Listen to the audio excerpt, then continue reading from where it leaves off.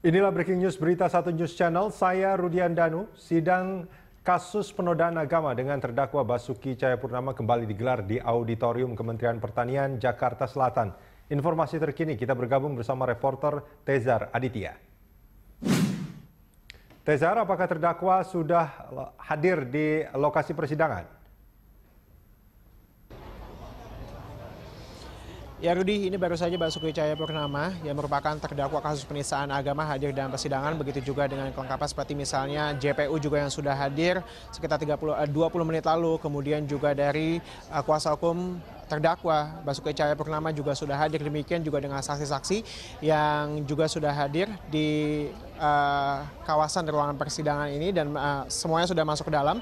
Dan memang hari ini, Rudi ini kembali mendengarkan keterangan saksi. Ada lima orang saksi yang rencananya akan didengarkan kesaksiannya dalam persidangan ke-8 ini. Yang pertama adalah Kiai Haji Ma'ruf Amin. Ini merupakan Ketua MUI. Yang kedua adalah Dahlia Umar yang merupakan Komisioner KPUD DKI Jakarta. Yang ketiga adalah Jainuddin alias Panel bin Adim. Yang keempat adalah Syahbudin bin alias Denny. Jainuddin dan juga Syahbudin ini merupakan nelayan dari uh, Pulau Panggang ke Pulau Seribu yang kita tahu bahwa dua orang ini merupakan saksi fakta yang pada saat itu mendengar langsung uh, pernyataan Basuki Cahayapurnama saat berpidato di Pulau Panggang. Dan yang kelima ini adalah Ibnu Baskoro yang merupakan saksi pelapor. Dari lima orang yang dijadwalkan akan didengarkan kesaksiannya dalam persidangan ke-8 ini, tiga orang sudah terkonfirmasi hadir dan juga sudah hadir di ruang persidangan. Yang pertama ini adalah Kiai Haji Maruf Amin, Ketua MUI. Yang kedua adalah Dahlia Umar. Dan yang ketiga adalah Ibnu Baskoro yang akhirnya hadir setelah tiga kali tidak hadir dalam persidangan. Karena sebenarnya Ibnu, Ibnu Baskoro ini sejak persida, tiga persidangan sebelumnya dipanggil berkali-kali dan tidak hadir. Dan tadi kami sempat menanyakan kepada pihak JPU apa kemudian kapasitas uh, dipanggilnya Kiai Haji uh, Ma'ruf Amin, kemudian juga Komisioner KPU. Tadi juga JPU menyatakan bahwa nantinya dalam persidangan ini Kiai Haji Ma'ruf Amin yang merupakan Ketua MUI ini akan ditanyai mengenai seputar apa dasar dari dikeluarkannya fatwa MUI yang kita tahu pada saat itu menyatakan bahwa pernyataan Basuki Cahaya Purnama ini ini mengandung unsur penistaan agama dan pada saat itu dalam fatwa MUI ini meminta pemerintah dan juga penegak hukum untuk uh, melakukan uh, penegakan hukum karena ada dugaan penistaan agama yang terdapat uh, dalam pidato Ahok pada saat itu. Kemudian juga kami menanyakan JPU kenapa kemudian ada KPU juga unsur dari KPU yang dipanggil dan juga didengarkan kesaksiannya dan juga keterangannya dalam persidangan kali ini. Dan memang Ketua JPU juga Ali Mukartono mengatakan bahwa ini terkait dengan rangkaian kegiatan pilkada dan ini juga diduga nanti akan berkaitan dengan apakah pada saat Ahok mengatakan ini kapasitasnya ini sebagai cagup atau masih sebagai gubernur petahana karena kita tahu pada saat itu Ahok mengatakannya di awal September dan uh, pendaftaran dari cal, uh, cagup dan juga cagup DKI Jakarta ini baru pada saat itu Ahok melakukannya pada tanggal 21 September dan KPU baru menetapkannya kita ingat pada 23 Oktober. Demikian Rudi.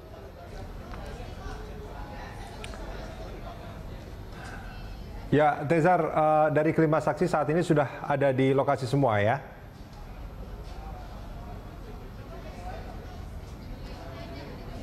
Dari lima orang baru tiga orang saksi yang terkonfirmasi hadir, yang seperti saya katakan uh, tadi, Udi Kiai Haji Maruf Amin, kemudian juga Dahlia Umar dan Ibnu Baskoro. Dua lainnya ini belum terkonfirmasi, yang kita tahu bahwa dua lainnya ini merupakan nelayan di Pulau Panggang, Jainuddin alias Panel bin Adin dan juga Syahbudin alias Deni. Dan hingga saat ini memang kami pantau belum ada tanda-tanda bahwa dua orang ini akan hadir.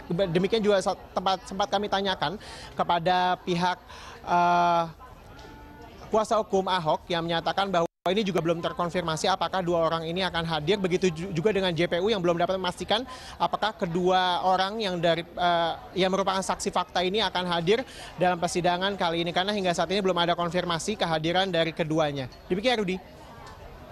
Ya, Tezar, uh, ini kalau tadi kita Anda mengatakan bahwa sudah ada tiga saksi yang sudah terkonfirmasi hadir, kemudian terdakwa juga sudah hadir. Bagaimana dengan uh, jaksa dan juga uh, penasihat hukum dan hakim yang akan memimpin sidang? Apakah mereka juga sebetulnya sudah berada di sekitar lokasi? Ya kalau jaksa sendiri tadi sudah hadir sekitar 20 uh, 20 menit yang lalu. Demikian juga dengan uh, kuasa hukum dari Basuki Cahayapurnama yang juga sudah hadir. Dan nampaknya sidang juga sudah akan dimulai di dalam karena Ahok juga sudah hadir.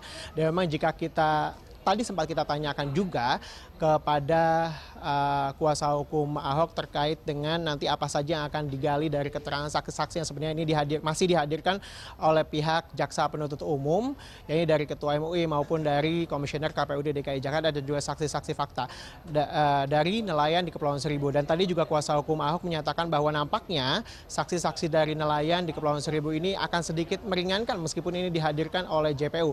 Karena kita tahu bahwa dari kita jika kita mereview sebelumnya, ini ada dua dua orang saksi fakta juga yang dihadirkan dalam persidangan ketujuh kemarin. Rudi jika kita ingat ini merupakan kameramen dari Pemprov DKI Jakarta dan satu lagi adalah uh, Lurah Panggang uh, Yuli Hardi yang mengatakan bahwa pada saat masyarakat mendengarkan keterangan Basuki Cahayapurnama pada saat awal September itu masyarakat di sana pada saat mendengar itu agak kurang sadar dengan pernyataan Basuki Cahayapurnama yang menyinggung tentang Al-Maidah ayat 51 dan Yuli Hardi juga mengatakan bahwa pada saat itu memang uh, tidak ada yang sadar bahwa ini apakah ada unsur penistaan agama atau tidak kak. Maka dari itu memang pada saat Basuki Cahayapurnama mendatangi Pulau Seribu pada saat itu belum ada reaksi yang signifikan dari masyarakat di sana. Baru kemudian setelah diupload di sosial media dan kemudian menjadi booming, baru masyarakat mengetahui oh bahwa di pada saat Ahok di sana ini ada pernyataan yang sedemikian.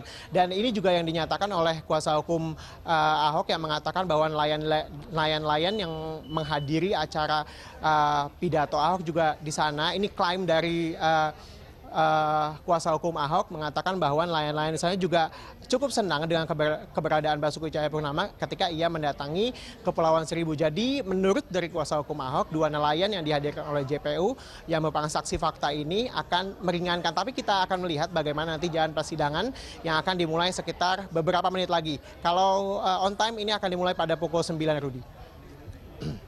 Ya, Tezar, uh, saya mengkonfirmasi sekali lagi bahwa sidang yang akan berlangsung hari ini sama dengan sidang-sidang sebelumnya, uh, hanya dibuka pada saat awal, kameramen, siapa pun untuk mengambil foto dan video, tapi setelah itu mereka tidak diperbolehkan untuk tetap berada di ruang sidang. Ya, sejauh informasi yang kami dapatkan sejauh ini memang tidak ada perbedaan yang signifikan juga antara persidangan saat ini dan juga persidangan sebelumnya masih terbuka tapi terbatas untuk media yang akan meliputnya. Media diperbolehkan masuk, tapi sekali lagi tidak boleh membawa kamera untuk merekam ke dalamnya dan juga tidak boleh sama sekali untuk mengeluarkan handphone. Kecuali di awal-awal persidangan atau uh, beberapa menit di awal persidangan ini uh, kamera diperbolehkan masuk untuk merekam gambar untuk kemudian para wartawan dipersilakan untuk keluar. Dan demikian juga dengan uh, peserta peserta sidang atau dari pihak pro maupun kontra yang sebenarnya semuanya dilarang untuk uh, mengambil gambar baik itu dari kamera ponsel maupun dari uh, kamera biasa. Karena me memang uh, pada saat KY pada saat itu hadir ia juga mengatakan bahwa sebenarnya pernya uh, status dari persidangan yang terbuka ini boleh disaksikan tapi memang ketika itu uh, berkaitan dengan uh, kegiatan mengambil gambar ini merupakan dari kewenangan hakim yang membolehkan atau tidak dan ini tidak dapat dipermasalahkan oleh pihak uh, eh, KY itu sendiri. Jadi ini kewenangan hakim apakah kemudian akan uh, diperbolehkan akhirnya atau tidak para wartawan menjalan uh, mengambil ga, gambar jalannya persidangan. Tapi sejauh ini Rudi kami mendapat konfirmasi bahwa tidak ada perbedaan yang signifikan antara persidangan kali ini dan juga sebelumnya. Jadi wartawan hanya diperbolehkan mengambil di awal untuk kemudian disuruh keluar dan uh, tidak boleh membawa alat perekam, tidak boleh membawa kamera ponsel. Demikian Rudi. Baik, terima kasih Tezar Aditya dan pemirsa Tezar Aditya melaporkan langsung dari lokasi sidang perkara Ahok di Kementerian Pertanian Jakarta Selatan dan kami akan terus menantikan laporan dari Anda.